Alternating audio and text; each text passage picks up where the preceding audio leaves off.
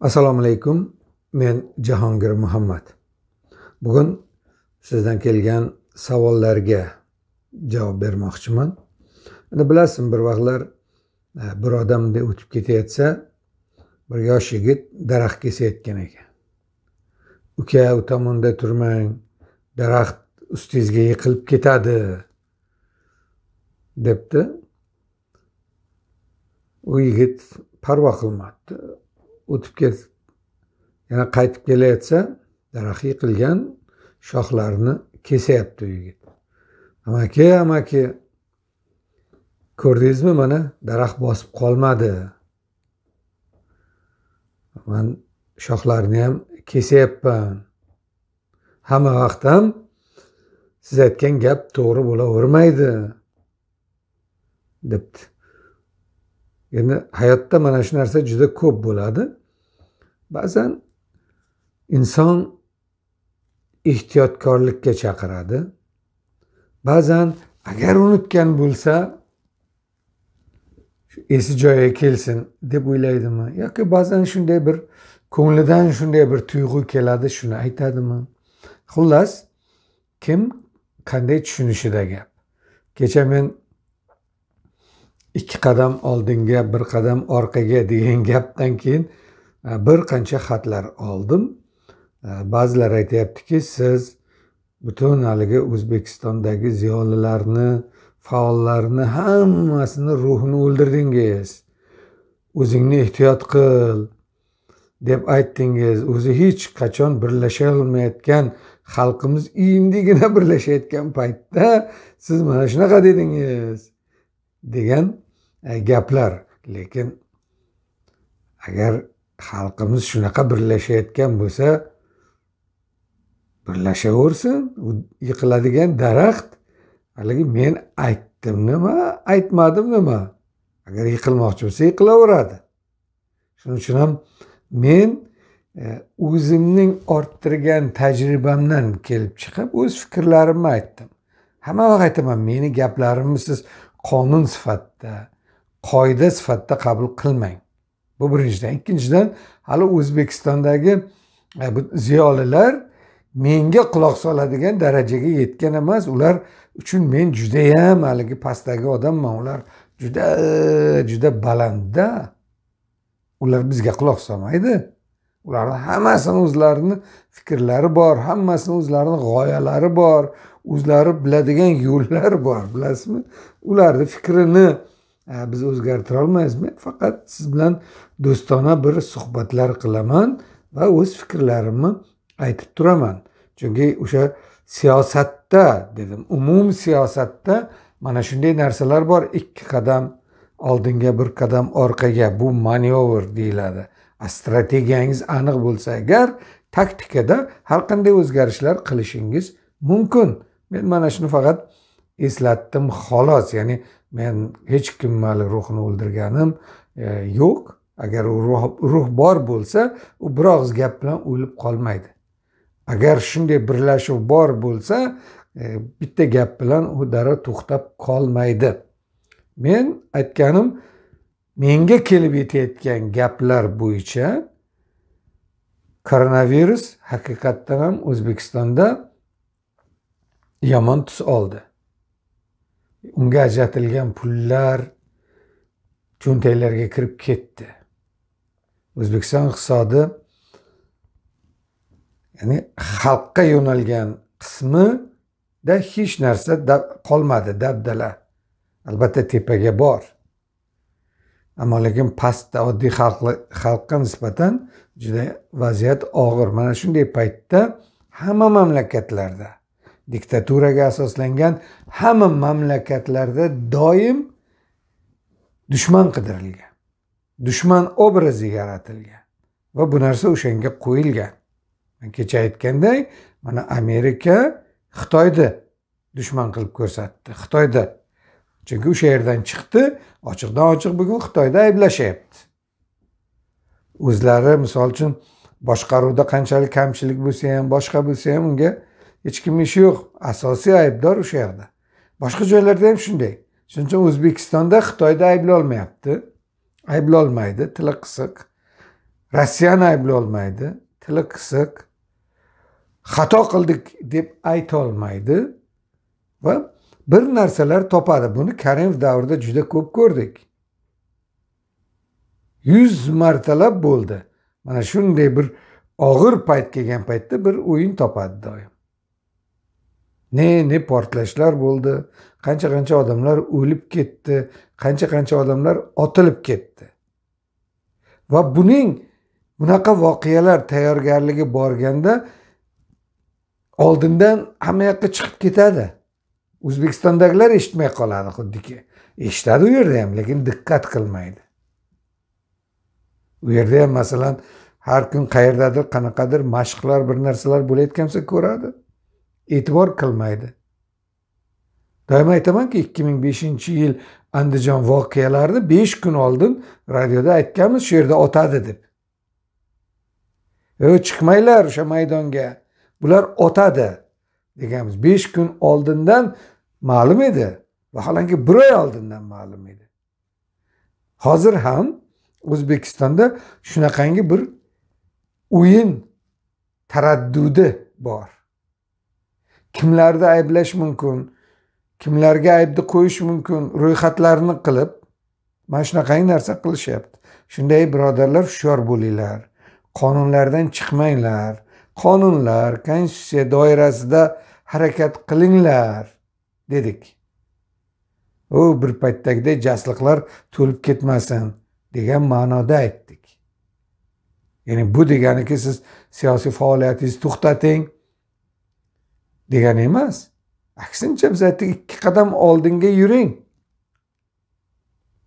Chetdan kelayotganlarga yordam bering. Ular bilan ishlang ular bilan faoliyat qiling dedik. Bu o'sha blogerlarga endi millionta mavzu bor yozadigan boshqa qiladigan. Ammo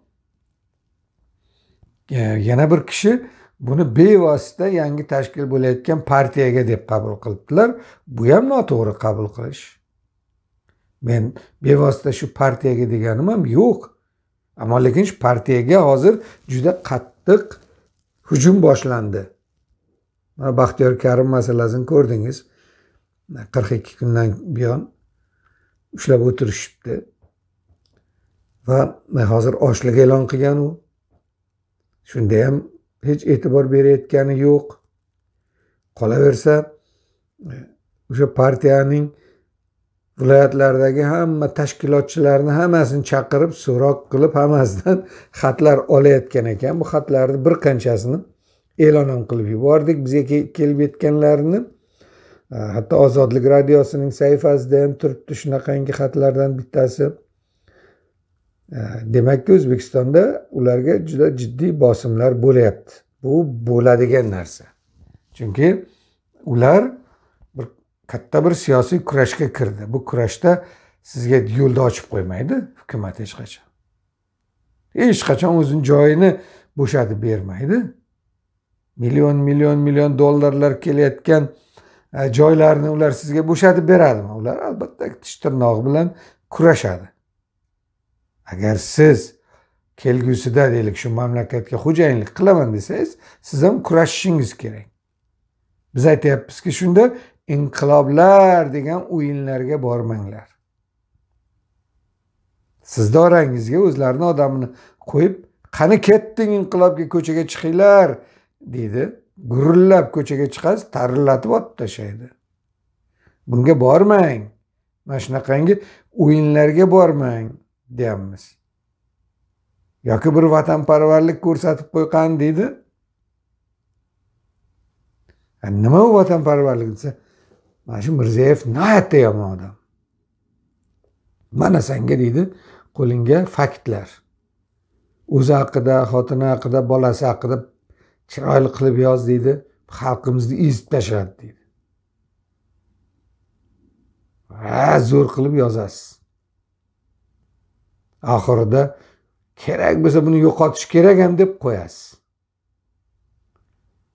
Nariyog'i ikki yuz ellik sakkiz ikki yuz ellik to'qqiz bo'lib ketadi keyin chunki prezidentni sha'nini obro'yini himoya qiladigan qonun qabul qilingan. U davlat to'ntarishi bilan teng. Va prezidentga tahlika qilyapsiz go'yoki ostida. Buni olib kiradi prezidentga. Prezident aytadi e qo'yinglar mayli yozsa yozibdida deydi ular aytadi ya qonun? Biz qonun mamlakatda yashayapmiz. Qarang bular rostdan ham shu ishni qilmoqchi. Falon falon falon deydi. Bir aytadi ikki aytadi uch aytadi. Keyin qarabsizki bir joyda bir narsa bir voqea bo'libdi.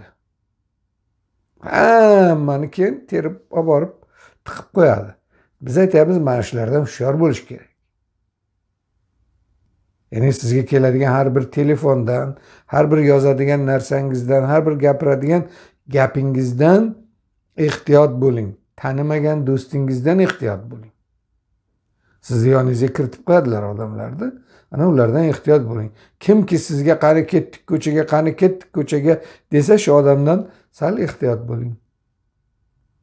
Ko'chaga chiqib bugun davlatni o'zgartiradigan payt emas. Koronavirus davrida hozir ilgarigi davlatning qo'lida agar deylik bitta qamchi bo'lsa bugun yuzta qamchi bor. Dunyoda hech kim qiziqmaydi bugun. Hamma o'zi bilan o'zi bo'lyapti. Chunki o'zini mamlakatida minglab odamlar o'lib ketyapti. Shunday paytda kimnidir o'zbekistonda olib borib qamab qo'ysa yo kimlarnidir olib borib qamab qo'ysa birov bugun qiziqadigan payt emas. Men mana shundan ogohlantirdim. Ya'ni koronavirusni mana vaksinasi topildi. Dorisi topildi. Hattoki buni ishlab chiqaruvchilarga pullar ham berildi. Demak ikki oy uch oy. Ikki oy uch oyda bu nima jilovlanadi? Ho'p oldin deylik ishlab chiqargan mamlakat o'zinida tarqatsin. Mana amerika hukumati uch yuz million vaksina uchun allaqachon pulni to'lab qo'ydi. O'sha moderna degan bir e, nima farmatsevtika sohasida ishlaydigan korxona boshladi. Ular qirq besh kishida tekshirgan edi keyin e, ikki mingda mana hozir o'ttiz ming kishiga mo'ljallayapti boshlayapti. Demakki yilni oxiriga borib bu millionlarga yetadi. Va o'sha paytda richag bo'ladi ta'sir qilish richagi. Masalan o'sha paytda amerikani ham gapi o'tadi o'zbekistonga. Ey nima qilasan shu odamlarni? Qamab desa o'ylab ko'radi o'zbekiston rahbariyati. Chunki boyagi doriga qarab qoladi o'zi ham. U arzon bo'lmaydi u. chunki amerikada agar u dorini amerika hukumatiga masalan har bittasini yuz dollardan yoki ikki yuz dollardan yo besh yuz dollardan sotayotgan bo'lsa o'zbekistonga o'n dollarga sotmaydi. Xat yoziladi keyin trampga hurmatli tramp aka jonim akam falon falon. Chunki o'zini ham hayot tahlikada qarindoshlarini ham hammasini hayot tahlikada. Mana shunaqangi richak bo'ladi. Ana o'shanda o'sha paytda harakat qilsangiz bo'ladi. Aks taqdirda hozir olov olovga urmang dedik. Olovga uradigan bo'lsangiz ham olovdan ehtiyot bo'lish choralarini ko'ring dedik. Shuning uchun ham haligi xafa bo'lib bizdan e, nima qilmang. Ho'p mana shunaqangi xatlardan bittasini o'qib beray. Jahongir aka men xorazmdan oddiy doktor vrachman. Ikki yildan beri sizni kanalingiz ko'ruvchisi abonenti ishtirokchimi bilmayman qanday atash kerak. Har doim sizni fikrlaringizga qo'shilganman. Do'stlarga hamkasblarimga hatto o'g'limga ham ko'rib sizni o'zbek parlamentarizmi otasi deb tanishtirar edim. Unaqa demang. Orqa qadamlar haqidagi videongizga dislike bosdim.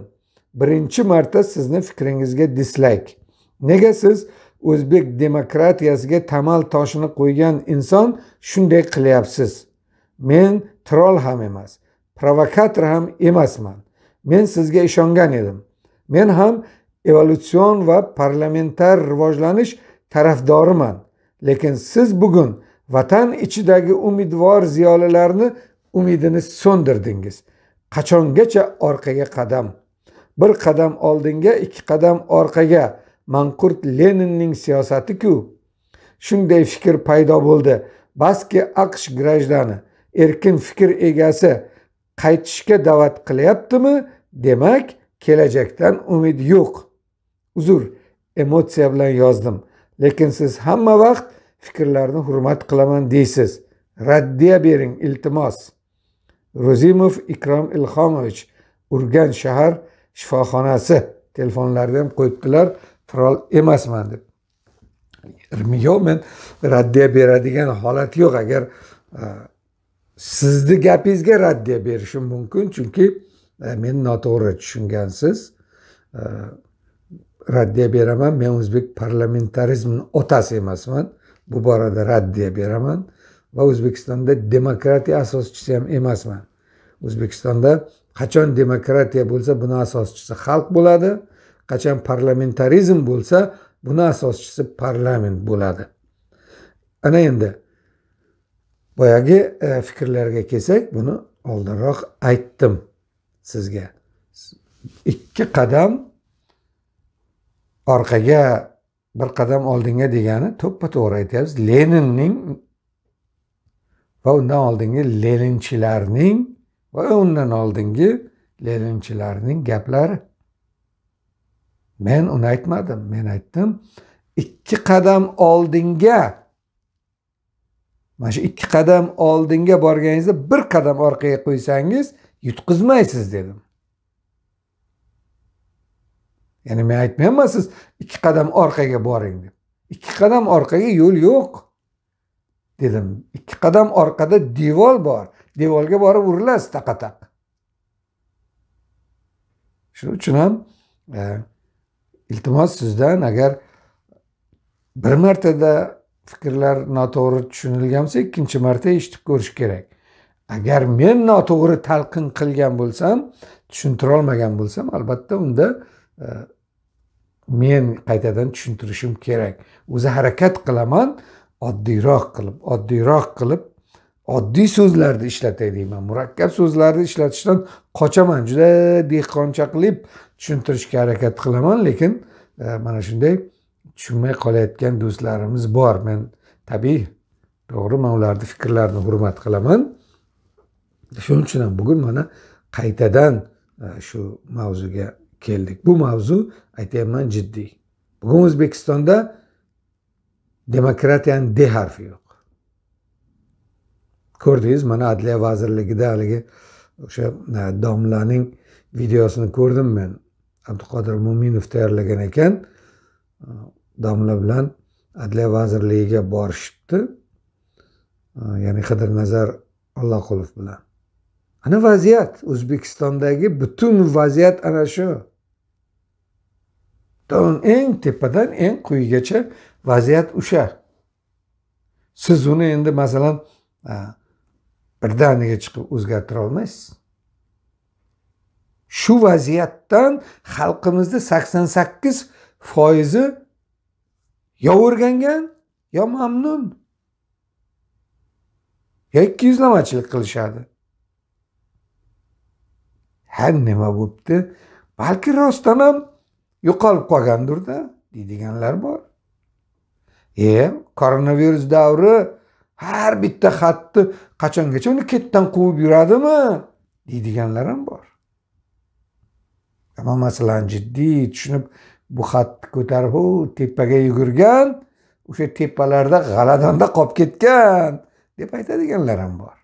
Ammo bular ozchilik ko'pchilik hali mana shu darajaga yetmadi. Bizni maqsad shu bo'lishi kerak. Bugun odamlarga mana shu narsalarni qo'lingizdan kelsa shuni tushuntiring. Bu eng katta ish bo'ladi.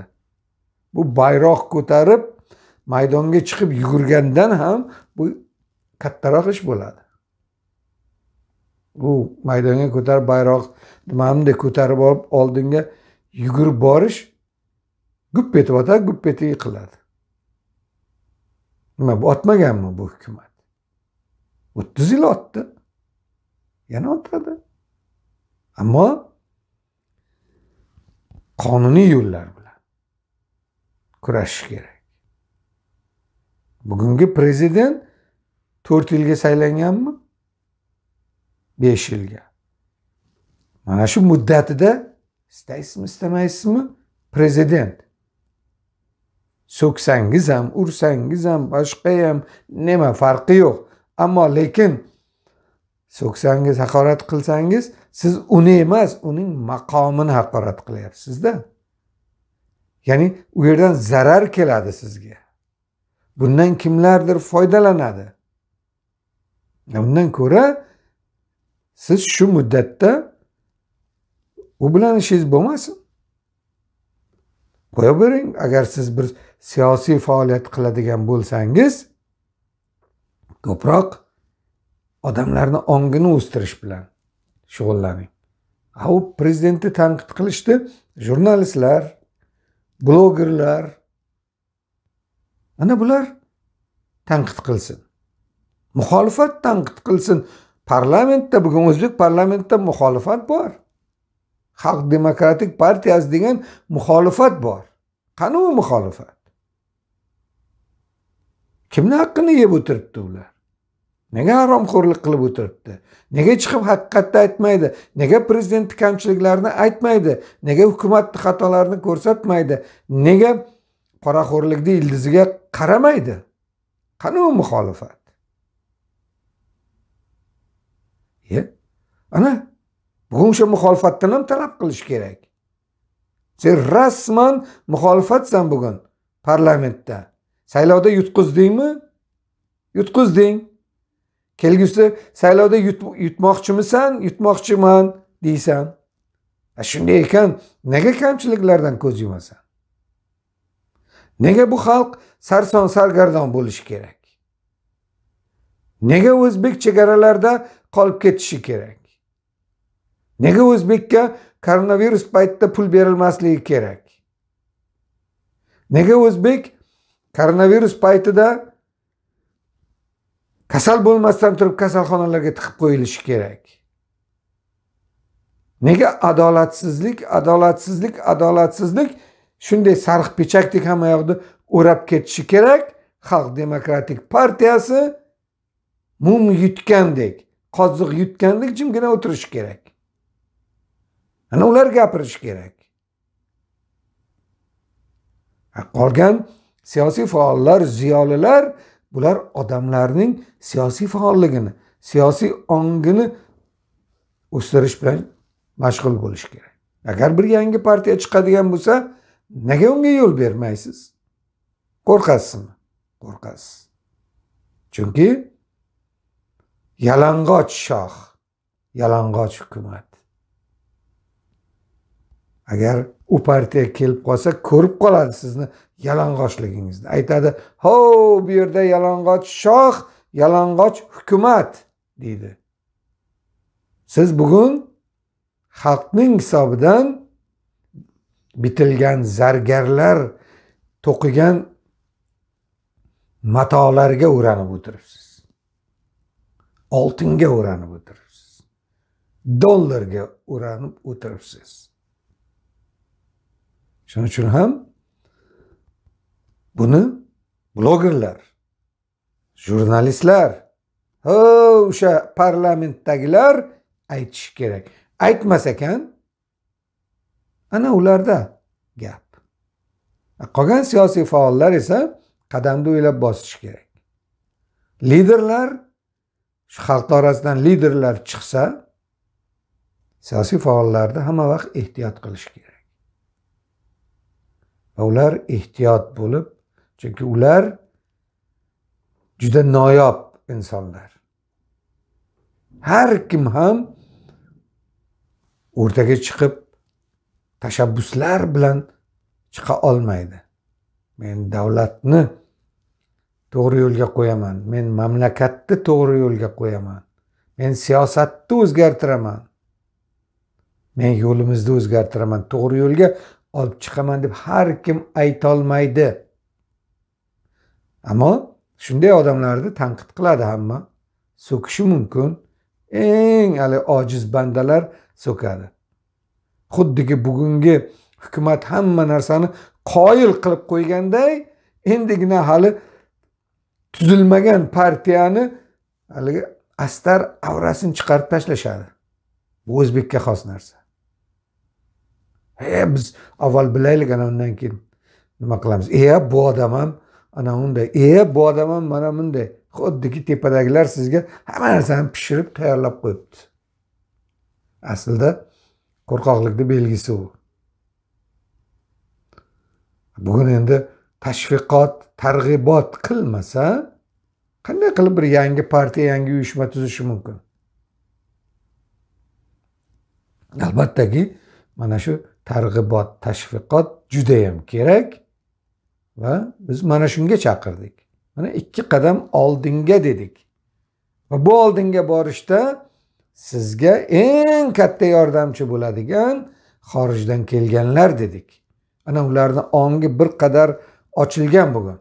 Ular bilan faoliyat qilsangiz ularga yordam bersangiz ularga yo'lni ko'rsatsangiz tushunadi.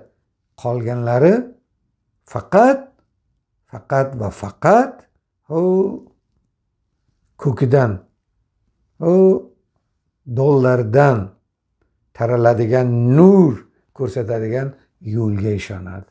Omon bo'linglar. Men jahongir muhammad e'tiboringiz uchun rahmat. Har kun boringiz bo'lsin xudoyoringiz bo'lsin. Xayr.